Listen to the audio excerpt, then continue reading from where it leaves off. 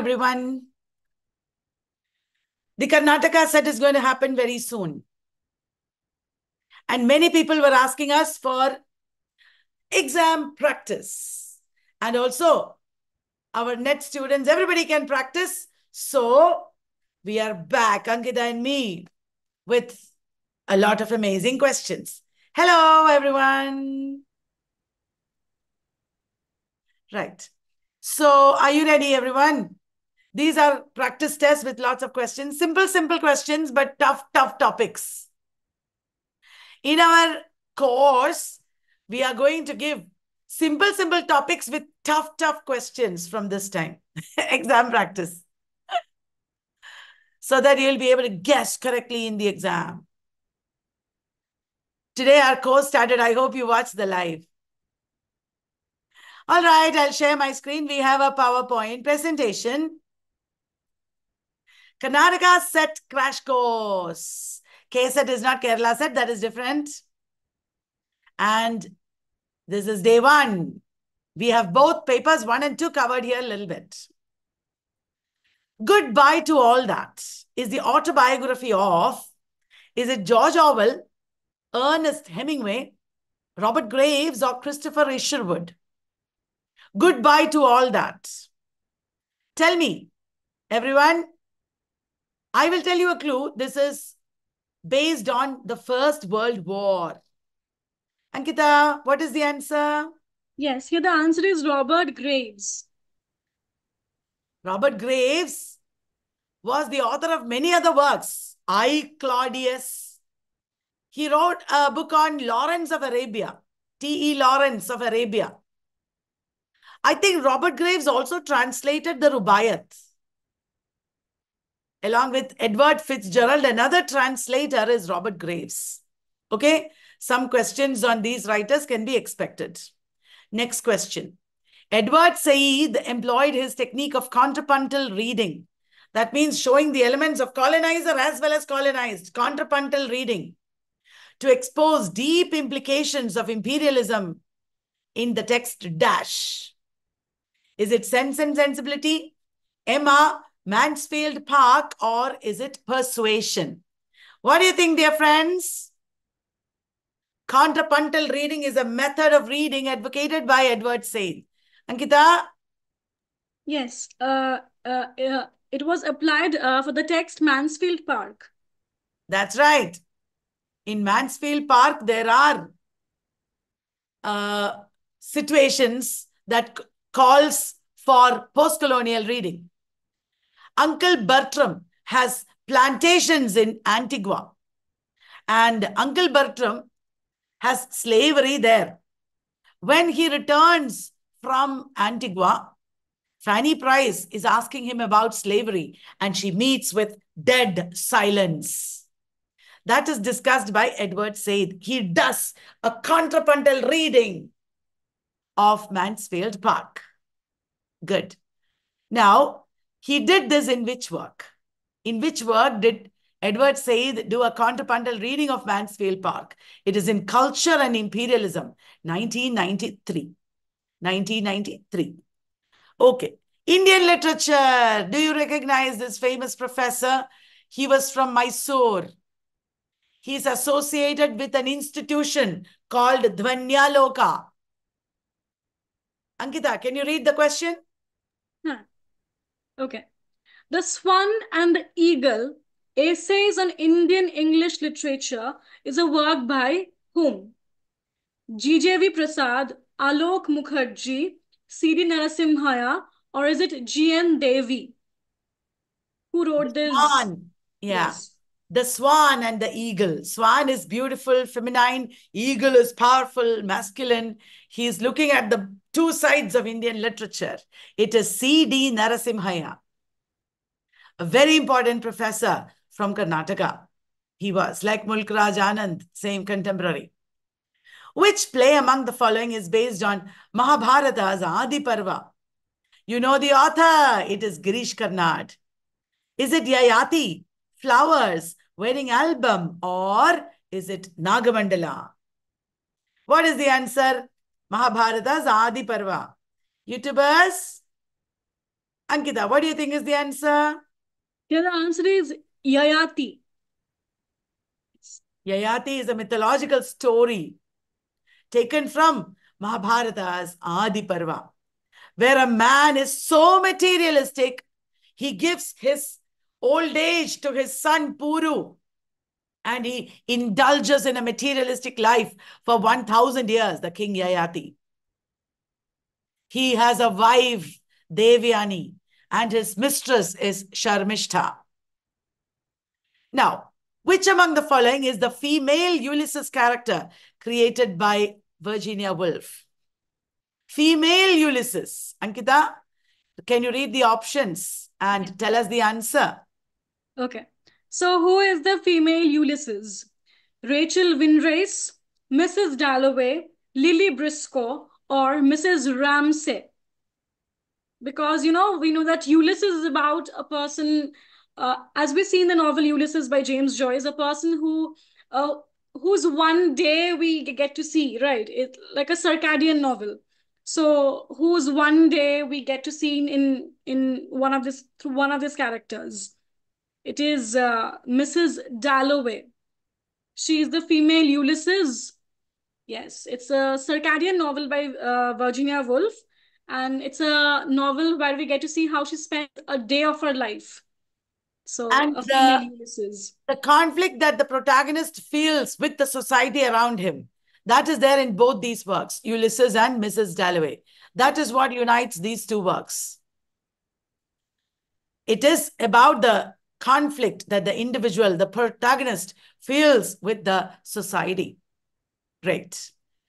Before hip hop was hip hop is a dash by Rebecca Walker.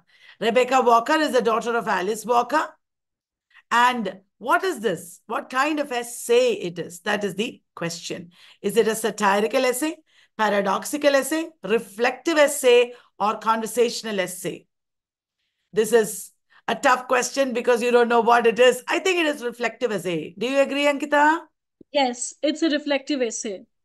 Because here Rebecca Walker reflects on her past days and she, you know, almost illuminates how hip hop affected her lifestyle, her uh, viewpoint, her perspective in life. So it's a reflective essay.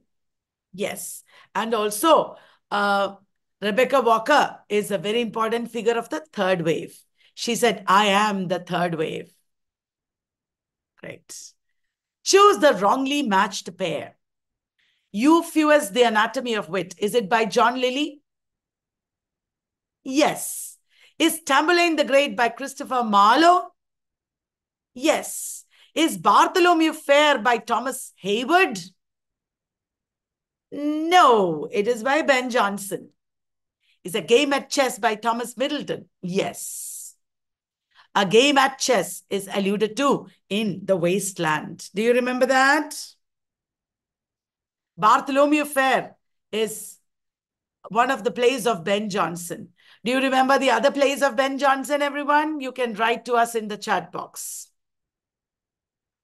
He has written very major plays, Volpone, Epicene, Bartholomew Fair, Cynthia's Revels. Yes. Ankita, your turn. Which Pindaric ode was written by Dryden in honor of St. Cecilia's Day? Alexander's Feast, Religio Laici, The Hind and the Panther, or none? Which among the following is a Pindaric ode by Dryden? Dryden wrote Pindaric odes with variations. Alexander's Feast is a variation of the Pindaric ode. Religio Laici is a religious satire. The hind and the panther is an allegory. The hind or the deer is attacked by the panther. Religio Laici supports Anglican Church. The hind and the panther supports Catholic Church. Remember that in Alexander's feast, the poet Timotheus is singing. And here it is a song in honor of Saint Cecilia, the patron saint of music. A Pindaric ode is an encomiastic ode in praise of somebody or something. That is the oldest kind of ode. There are also Horatian odes, which are not so formal as the Pindaric ode. Mother India is a polemical book by an American historian. It was a very controversial book because she criticized the status of women and girls in Indian society. She criticized child marriage. And she had a very severe perception of Hindu culture. Is it Wendy Brown, Katherine Mayo, Annie Besant, or Willa Cather? It is a PYQ. It is Katherine Mayo. Good. Next, over to you, Ankita. Hmm. Which theoretical concept among the following was not formulated by Mikhail Bakhtin? Carnivalesque, heteroglossia, polyphony, or panopticon? So, which of these is not prop propagated by Bakhtin? All of you might know carnivalesque is a term propagated by Bakhtin. Carnivalesque is a term. And then Heteroglossia, yes. Polyphony, yes. But panopticon is propagated by Michel Foucault. Okay. Ankita, you again.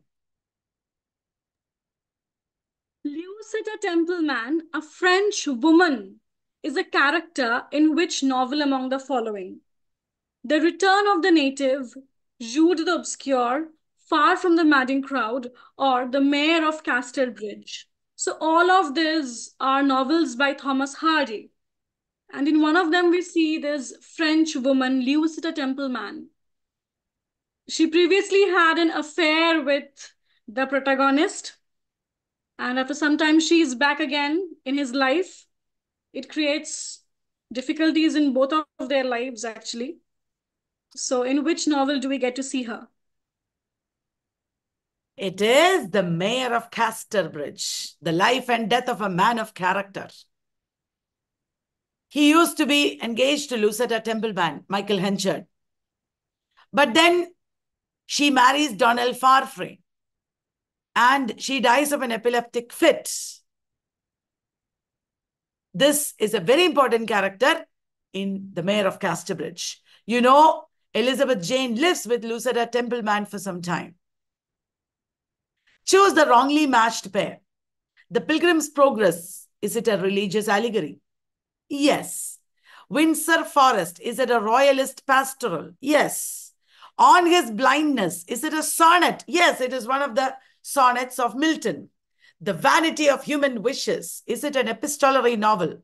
No, it is a Juvenalian satire by Samuel Johnson.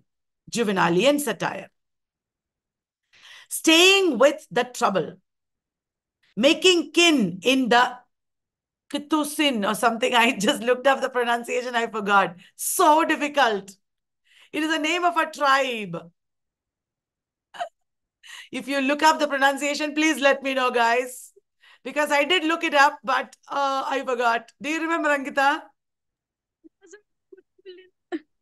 It was something like that. It's very tongue twisty type. Yeah, we looked it up together, Ankita and me. Staying with the trouble, making kin in, in the scene or something. It is a book by whom? It is the name of a tribe. Is it Donna Haraway, Bruno Latour, Felix Guattari, or none of these? Bruno Latour is the author of what was it, Ankita? We were never modern. Now we have become modern. That is a very important author. We should know more about him. We should read more about him. He's important in narratology, anthropology, etc. Isn't it, Ankita? Yes, uh, his name is very prominent when it comes to narrative theories, narratology. And yes, so Bruno Latour is very important in technological studies also. Uh, so yeah. Do you think he's the author of this book? No, it is Donna Haraway who wrote this book, oh. Staying with the Trouble. Donna Haraway, who wrote about the cyborg, has written about this tribe. Please remember this, guys. Look up the major authors, the theorists, and their works. In Karnataka set, it can be important. It is important in net also. Who wrote The Animal, That Therefore I Am? Everybody is looking at where is the name of the author. I can see the name of the author here. It is Jacques Derrida. I saw it.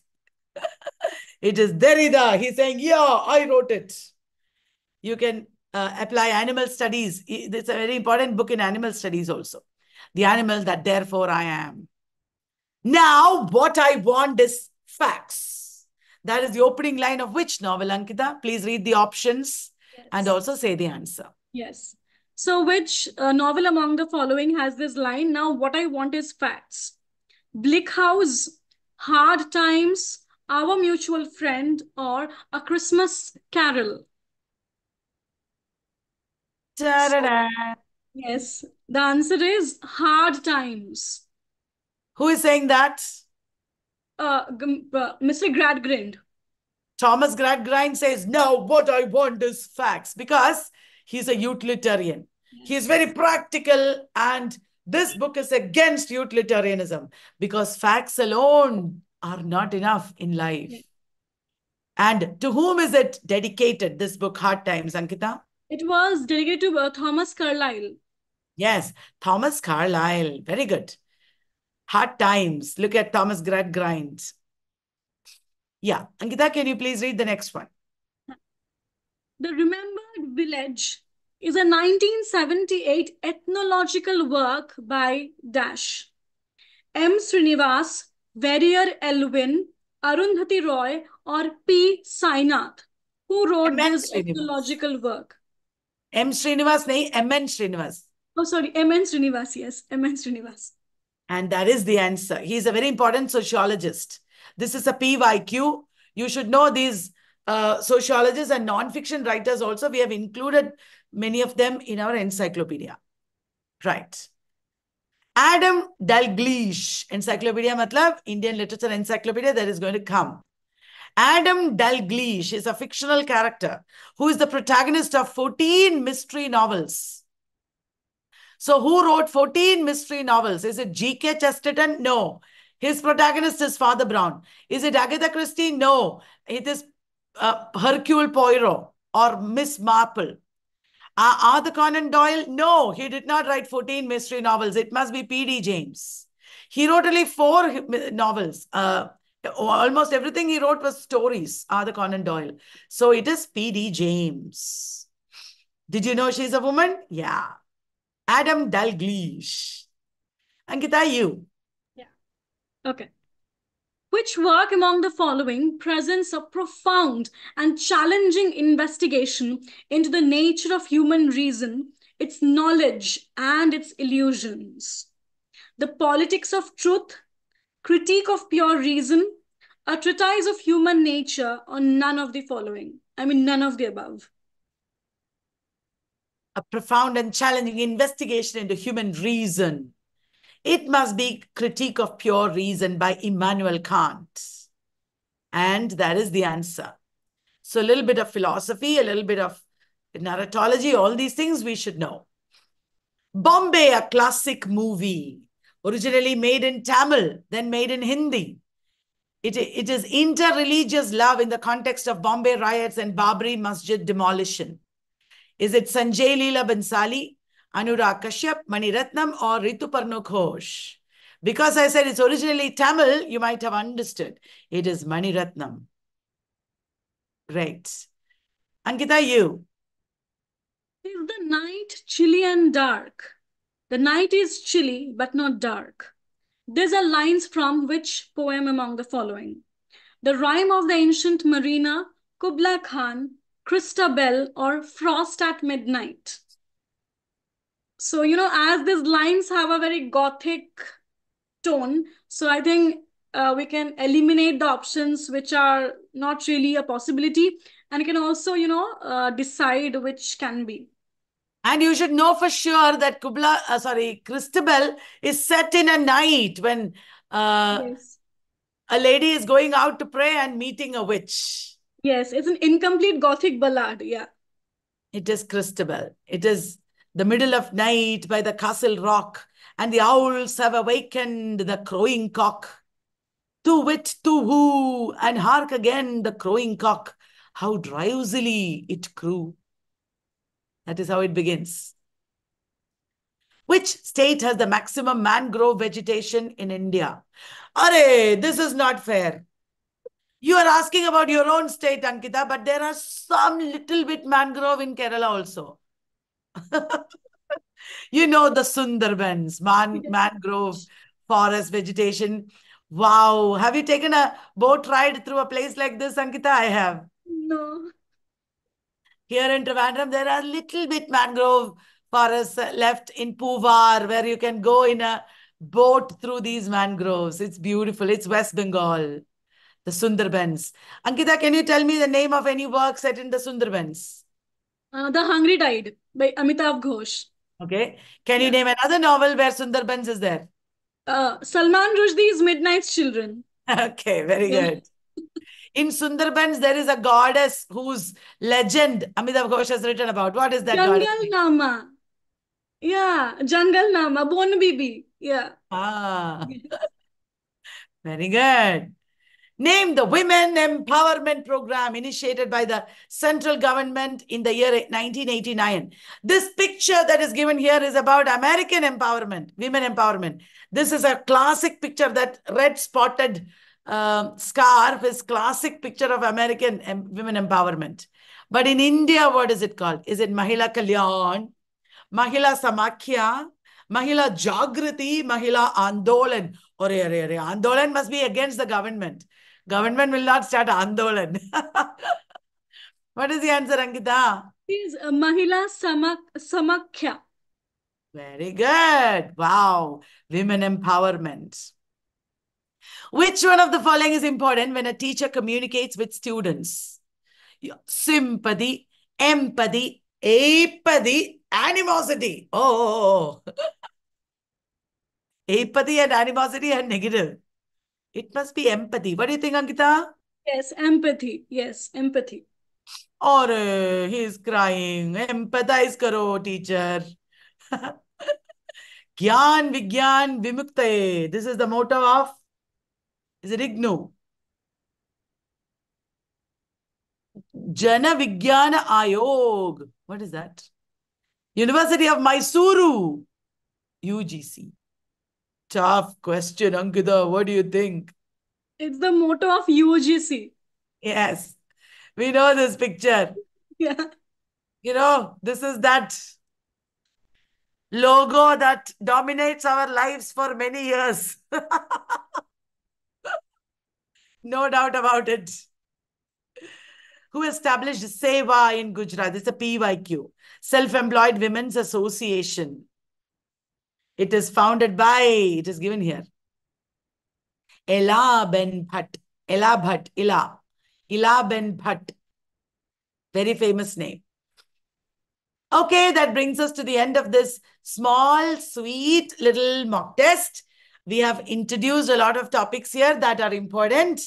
When I when, when we give you a question on MN Srinivas, for example, we don't mean that you will get a question on MN Srinivas, but uh, we want you to go online and read up on all the sociologists, uh, important uh, figures, prose writers, maybe Amartya Sen, maybe Ramachandra Guha, maybe Romila Thapar.